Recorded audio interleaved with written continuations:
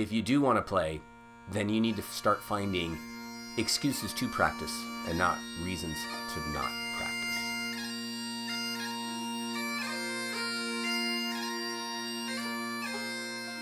Hello, my name is Matt Willis, and in this web series, we're going to be talking about tips and strategies to make you a stronger and more confident piper.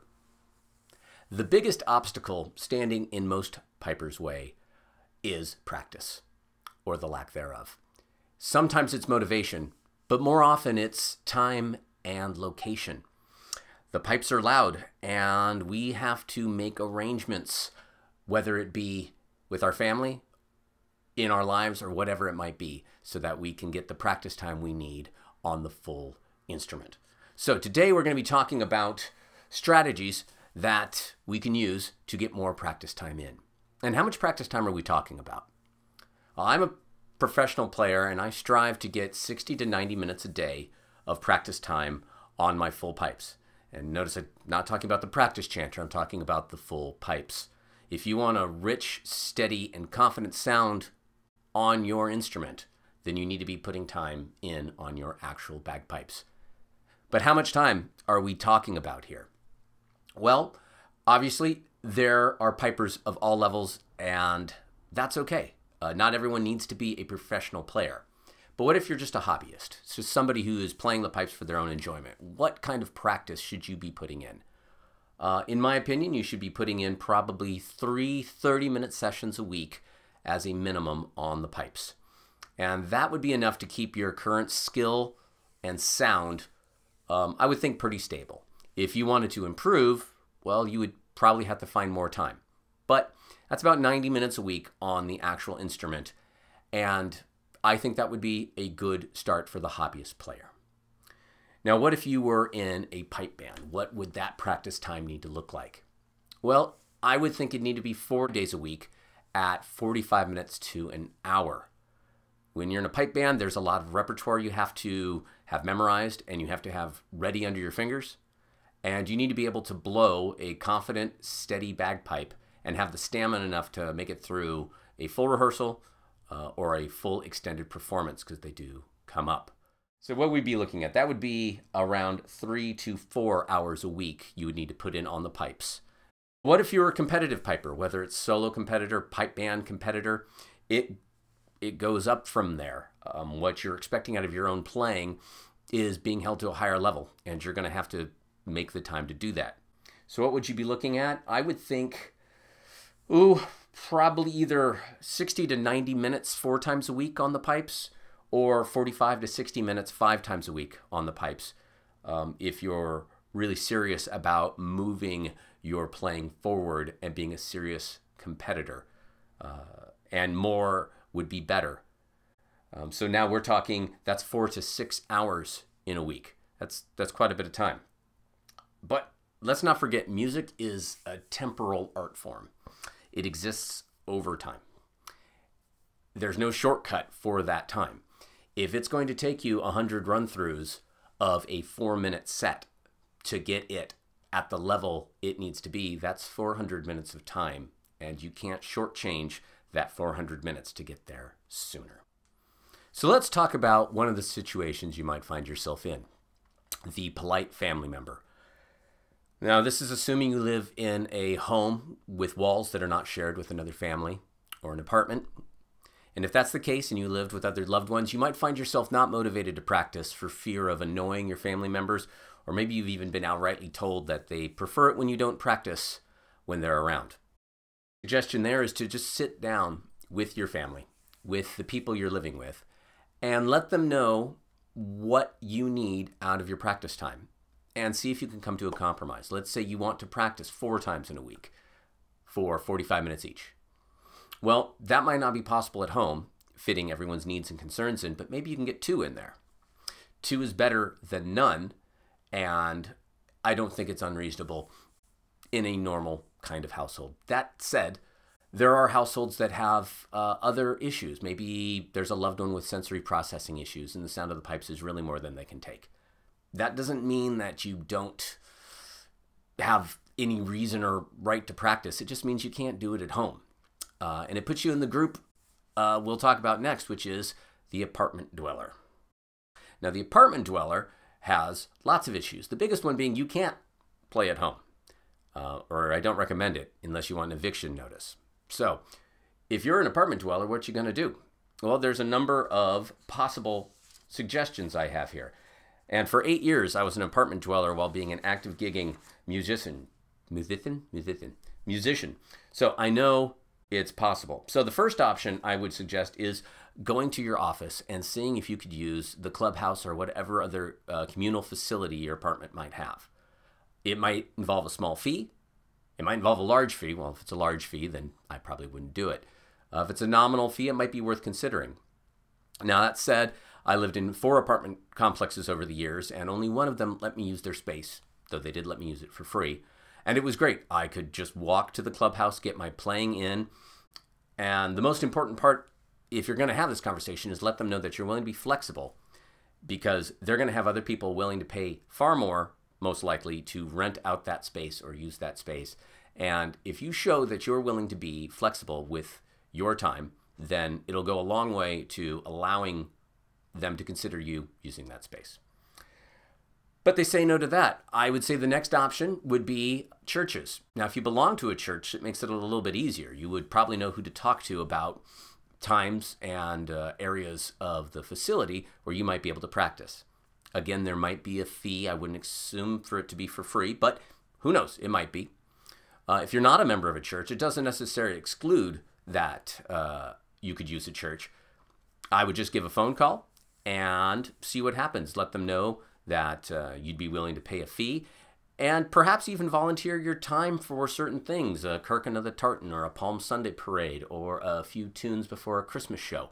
Things like that can go a long way to helping you have a conversation where you can have an inside spot to practice. And for uh, my northern listeners here in the States or anybody in inclement weather, the more you can spend inside, especially in the winter, the better. Now, that being said, if the church option doesn't seem to pan out, you can do what I did, which is the park rotation. I would recommend finding seven or more parks, preferably not near residential areas, and kind of make a map of them. And don't just keep going to one park. Kind of go to one, then go to the next, go to the next. I've actually routed out 10 parks. I'll show somewhere on the screen around here for a second um, that are all within five miles of my house where I could readily go practice and hopefully not annoy anybody. So, if somebody does come up to you at any of these parks and ask you to stop, then I would just stop and go to another park. There's no need to have an altercation or make anything ugly. Um, which again, why if you could find one away from residential, that'd be best. All right, so inclement weather. That's the big thing about parks. Uh, you can't control the weather. I recommend when you go and look at any of these parks that uh, you look for covering. You know, see if they uh, have a gazebo or some sort of covered area, so you don't have to just play in the sun the whole time. Uh, bathrooms are nice, but not required if you plan correctly. Um, if it's raining, you know, I'd often go out in the rain. If it was cold, I'd go out in the cold. Uh, I wouldn't go out in the ice. I didn't feel that was safe, but uh, even a little bit of snow didn't stop me. I'd typically leave my car warming, uh, you know, car left running and go run in the car and warm up my hands for a couple minutes and jump back out and get my playing in. On this note, if you are going to practice in the cold outside, remember when you're done to take your pipes apart and dry them thoroughly. Have brushes ready, maybe have a large towel ready, but you don't want that moisture building up in your pipes. All right, the next option uh, music stores or practice spaces, professional practice spaces. Now, this is going to get pricier I would first start by contacting a nearby music store. Um, the more local, the better, most likely when it comes to price. You might find um, they might they might say yes, the fee might be okay for an hourly rate, and you go down there and the pipes are still too loud because they often have other learners in there or other people even giving lessons. So you might be asked to leave in after you get there, and that's fine. There's no reason ever making a, a fit about it. Uh, if you wanted to use a professional rehearsal room, these typically don't have volume limits, but they tend to be pretty pricey. I know in the DFW market, um, to have an hourly space that you're able to access could run 250 a month. So that is certainly on the high side, and I would consider the park option or a church option or one of the other options first. But it is there for those that uh, money's not an issue. The professional rooms can be great, no volume limit, um, and they're typically open late hours. So you could go in there if you were perhaps a shift worker. Shift workers. I was one of these for a number of years as well in my early days of learning. I worked night shift, 6 p.m. to 6 a.m. And on the days I worked, it was not a glorious um, existence. What I found myself doing is I would uh, get off work at 6 in the morning, and rather than go hang out and uh, do anything with my coworkers afterwards, I would immediately go to bed, try to get myself asleep by 7.30 or 8 a.m., uh, have my alarm set for 3.30 in the afternoon, uh, get a quick cup of coffee, head out to a nearby park, hopefully just a minute or three away, and then get my hour or so of practice in from 4 to say 5 p.m. Then home in time to maybe even take a quick shower if needed during the summer, get a bite to eat, and be on the road for work by 5:30 to get back in and do another shift. Not a huge amount of social life there, but I didn't do it seven days a week. But that's how I got my practice in on those days. That's one idea for night shift, especially extended night shift hours. For someone who works swing shift, I would still do something similar. I would try to get myself to bed at a reasonable hour, you know, instead of hanging out after work, because the late morning hours before you go into shift are a good time to get practice in. I don't recommend going to a park or doing anything outdoors before 9 a.m. on the pipes. 10 is even better. Uh, people should be able to, to sleep in a little bit, not be woken by the skirl of pipes. For the office worker, the increasingly common extended hours office worker, this can be the most problematic. And it's a place where many, many people will find themselves. You go to work at say 8 or 9 a.m. and on a normal night it's 6, 6:30, even 7 before you find yourself leaving and walking to your car. And by the time you get home, you're not going to have the motivation or time to practice. It'll be late. So things to consider, perhaps if you have an extended lunch or a longer lunch, you could bring the pipes in with you to work and don't leave them in your car. Bring them into the office with you if they're allowed. And if they're not allowed, then leave them at home. Don't ever just leave your pipes in the car. Between weather and threat of theft, it's not worth it. But if you can bring your pipes into the office, if you can head out and lunch, hit the top of the parking garage for 20 minutes or 30 minutes and get some time in on the pipes, especially if you can do that every day of the week, that'll go a huge way to improving your tone, stability, steadiness, especially if you're using your practice time effectively, which we'll do a video on next. But um, let's lunch isn't an option, okay? Well, I would then again, if you can bring your pipes in, maybe hit a park on the way home. Find one that's between you and your house or a couple, so you don't wear out your welcome again, and get some time in before you even get home. It will still be late, but hopefully not so late that you can't practice. And you won't have that lack of motivation from heading home after a long day of work and then like oh, oh now i have to grab my pipes and go back out to a park. It'll probably be too late and you're not going to want to leave. Um, but for some people that's not even an option. Like the work is too late and there's just not a park or there's no place nearby like that you can do and that's okay too. For that i would recommend uh, several extended sessions during your weekend, whether it's a Saturday or Sunday or whatever days they might be. But something like um, a 45 to 60 minute session at 10 a.m., and then maybe another 45 to 60 minute session at 4 in the afternoon. And if you could do that on both days of your weekend, well, that's four practices. It's not going to have the benefit of doing that scattered throughout the week. There's something about building it up over time that is crazily, crazily useful. Don't make your inability to do that a reason you don't get your practice in. I would much rather see these weekend practices, you know, morning and evening on both days of your weekend, that you're still going to see huge, huge strides in your playing. What do these all have in common? What they have in common is that you're motivated enough to do the work. In all of these things, it's it's a pain. There are some musical instruments that are easy to practice. You can sit in a room with an acoustic guitar and strum it quietly, and people would maybe even enjoy listening to you practice. There are other instruments where it's easily read. You can just put headphones on and practice quietly. If you have a digital keyboard or something similar, you could be doing all the practice in the world and not annoy anybody. But on the pipes, it's a it's a woodwind reed instrument, and if you really want to get good at playing your pipes and having the kind of steady tone that I know we're all after, you're going to have to put the time in on the pipes.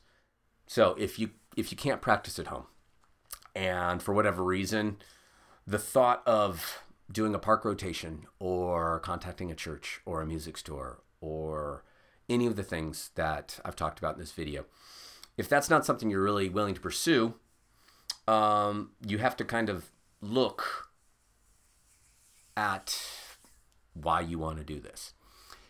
If you don't want to play, that's okay. It's okay. If you do want to play, then you need to start finding excuses to practice and not reasons to not practice. For almost everybody, learning a musical instrument is a sacrifice. There's only so many hours in the day. Um, if you want to be a piper, whether it be a hobbyist, you know, putting in 90 minutes a week, or a competitive piper putting in six or more hours a week on the pipes, that's time you're going to have to carve away from other things going on in your life. If you look at your life right now, most of you are not going to find two, three, four hours in a week where you're sitting around doing nothing that you're willing to currently give up. Finally, for some, you simply won't have the time. All other things being equal considered, even if your motivation is there and you are willing to go through so many of the things I was talking about, if your weekend is filled with you know, needing to take your children to extracurricular activities or whatever it might be, no judgment. If you find that all you have time for in your life realistically is two 20 minute sessions a week on the pipes, then that's fine and do that and enjoy that time on your instrument. But temper your expectations of what you expect to get out of the instrument. Somebody that puts in four to six hours in a week is simply going to be moving at a drastically faster rate than you are at 30 or 40 minutes in a week. Some quick thoughts on other solutions. There are electronic bagpipes out there. I know Red Pipes makes a, uh, a great mouth blown, whether it be a full Caledonia set that has drones, you know, they're cork, but they look the part, or one of just their, their more classic ones that, with a blowpipe that you still have to inflate. It's way better than not doing anything at all. But, and I play a set of these with Rathmore, it's not the same as pipes. Yes, you're going to keep some of your chops up. You're going to keep your face strong. You're going to keep your squeeze pretty good. But it's nothing like actually playing a real set of pipes and all of the things that happen when you have three drone reeds, an actual chanter reed, and have to deal with the realities of all that with moisture, with all of the things that go with the pipe. So, uh, certainly not talking disparagingly about such a great product, but it's not the same as putting in time on an actual bagpipe. The other product that uh, should be discussed is the bagpipe mute. And you could just look up bagpipe mute. I'm not going to put a link. I'm, I'm, this is less about gear and more about process.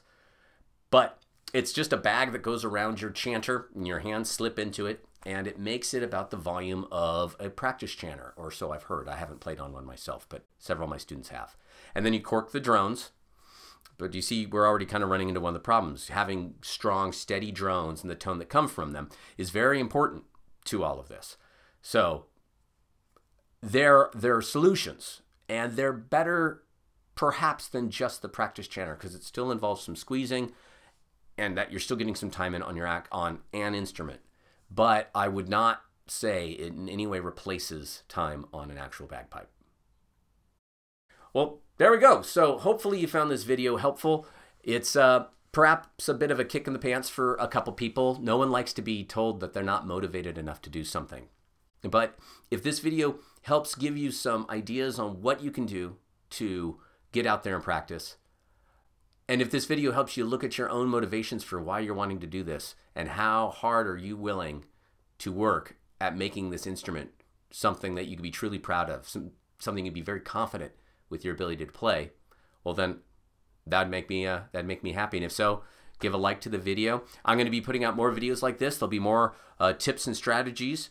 Uh, there'll also be other videos upcoming of me just performing on the pipes. So uh, if you want to see any of that, please hit subscribe. And in the meantime, again, my name is Matt Willis, and I'll talk to you next time.